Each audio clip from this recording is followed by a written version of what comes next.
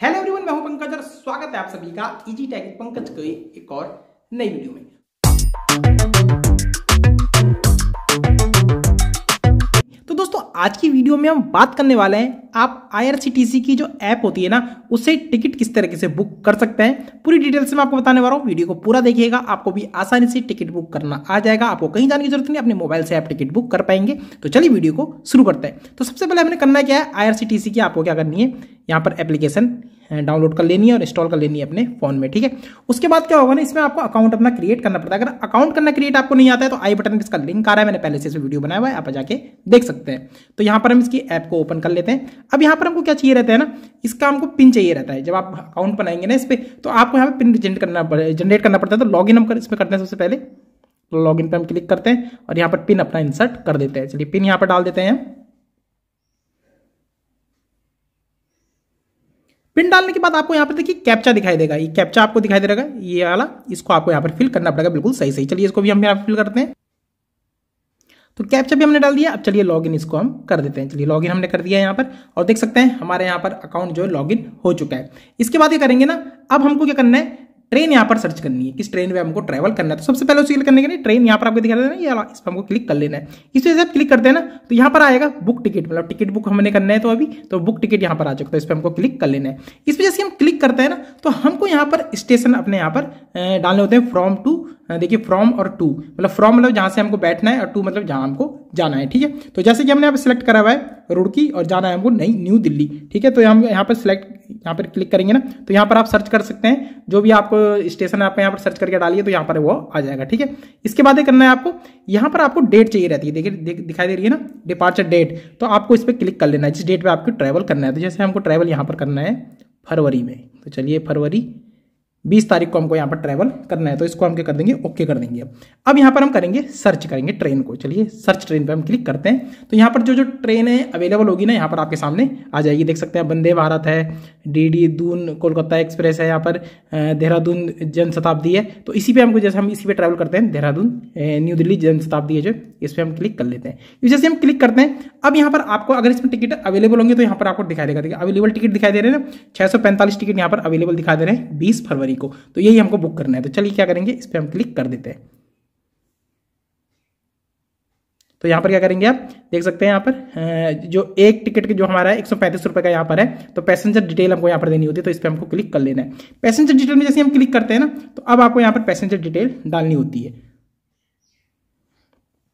तो देखिए, हमने यहाँ पहले से सिलेक्ट करा हुआ है, क्योंकि हमने बहुत बार यहाँ पर टिकट बुक करे हुए हैं। तो हमारे यहाँ पर क्या आ चुका है? पहले से ही पैसेंजर आ चुके हैं तो इस पर हम क्लिक कर लेते हैं। तो आप देख सकते हैं, हमने यहाँ पैसेंजर सेलेक्ट कर लिए अब क्या करेंगे? सेलेक्ट पैसेंजर पे हम क्लिक कर लेते हैं। जैसे हमने इस पर क्लिक करा तो सेलेक्ट पैसेंजर जैसे हमने करा है तो यहाँ पर ये ऐड हो चुके हैं। अगर आपको, देखिए आप पहली बार कर रहे हैं तो यहाँ पर क्या होगा? एड न्यू का ऑप्शन आएगा, इस पर आपको क्लिक करना है। एड न्यू पे आपको क्लिक करना है और यहाँ पर अपनी डिटेल दे देनी है। नेम दे देना है एज दे देनी है जेंडर दे देना है नेशनलिटी यहाँ पर आपको दे देनी है, ठीक है?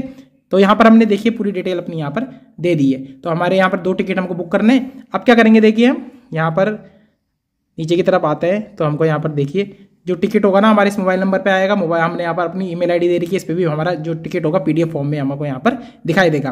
तो चलिए अब यहाँ पर हम दिखाई दे रहा है कि पेमेंट किस तरीके से करना है। तो पेमेंट के लिए हमको पेमेंट मेथड यहाँ पर दिखा रहा है। Pay through credit and debit card है नेट बैंकिंग है वॉलेट्स है।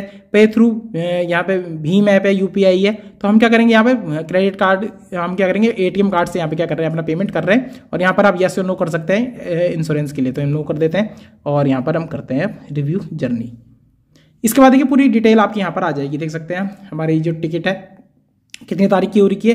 बीस फरवरी की हो रही है, सात ग्यारह की हमारी ट्रेन है और ग्यारह पाँच पे हमको ये दिल्ली छोड़ देगी, ठीक है? पैसेंजर डिटेल आप देख सकते हैं। टू अडल्ट है, ज़ीरो, यहाँ पर आपको चाइल्ड दिखाई दे रहा है।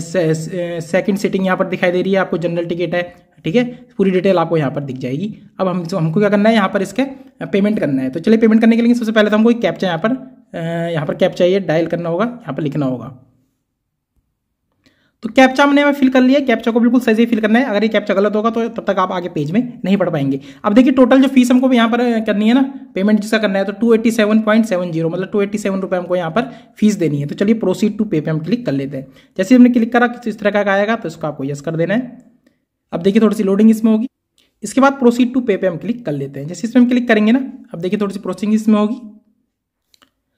तो यहाँ पर देख सकते हैं, अब हमको अपने डेबिट कार्ड की जो एटीएम कार्ड है ना, उसकी यहाँ पर डिटेल देनी होती है। तो क्या क्या डिटेल आपको देनी है? सबसे पहले तो आपको अपना एटीएम कार्ड ले लेना है और यहाँ पर क्या करना है आपको कार्ड नंबर, सबसे पहले डेबिट कार्ड यहाँ पर सिलेक्ट होगा, देख सकते हैं यहाँ पर आपको कार्ड नंबर सेलेक्ट करना है मतलब कार्ड नंबर यहाँ पर जो पूरे पूरा लिख लेना है सही से। उसके बाद मंथ और ईयर मतलब एक्सपायरी डेट रहती है जो आपके एटीएम कार्ड की, वो यहाँ पर देनी है। सीवीवी कोड देना है और कार्ड होल्डर का जो नाम है, यहाँ पर आपको सही सही दे देना है। तो चलिए फटाफट से इसको हम फिल करते हैं। तो यहाँ पर आप देख सकते हैं हमने पूरी कार्ड की डिटेल यहाँ पर दे दी है। चले पे नाउ पे हम क्लिक करते हैं अब।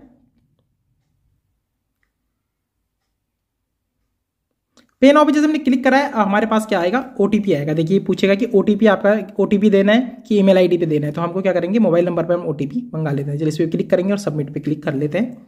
अब यहाँ पर क्या होगा देख सकते हैं? टू एट्टी सेवन के लिए, देखिए जो रुपए कटेंगे हमारे, उसके लिए ओटीपी हमारे यहाँ पर आ चुका है। ओटीपी देख लेते हैं हम और ओटीपी को यहाँ पर फिल कर लेते हैं। तो ओटीपी हमने बिल्कुल सही से यहाँ पर फिल कर लिया अब सबमिट पे हम क्लिक कर लेते हैं। थोड़ी प्रोसेसिंग इसमें दोबारा से होगी।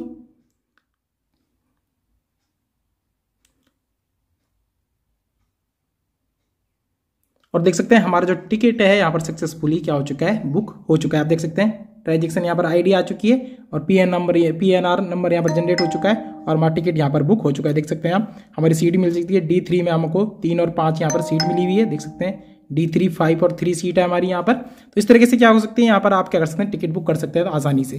तो यहाँ हमारे यहाँ पर टिकट आप क्या हो चुका है? बुक हो चुका है। और ई मेल पे, देखिए इसका पीडीएफ फॉर्म में टिकट भी आपका यहाँ पर आ चुका होगा। तो आई होप दोस्तों, अब आपको पता चल गया होगा कि आईआरसीटीसी की जो ऐप होती है ना, उससे आप टिकट किस तरीके से बुक कर सकते हैं? घर बैठे। तो दोस्तों, वीडियो अगर पसंद आए तो वीडियो को लाइक ज़रूर करेगा चैनल में नहीं है तो चैनल को सब्सक्राइब भी कर दीजिएगा। क्योंकि दोस्तों चैनल पर करते हैं यूट्यूब रिलेटेड और टेक्नोलॉजी रिलेटेड नई नई वीडियो। हर रोज चल, दोस्तों, मिलते हैं नई वीडियो बहुत ही जल्द ईजी टैग विद पंकज में।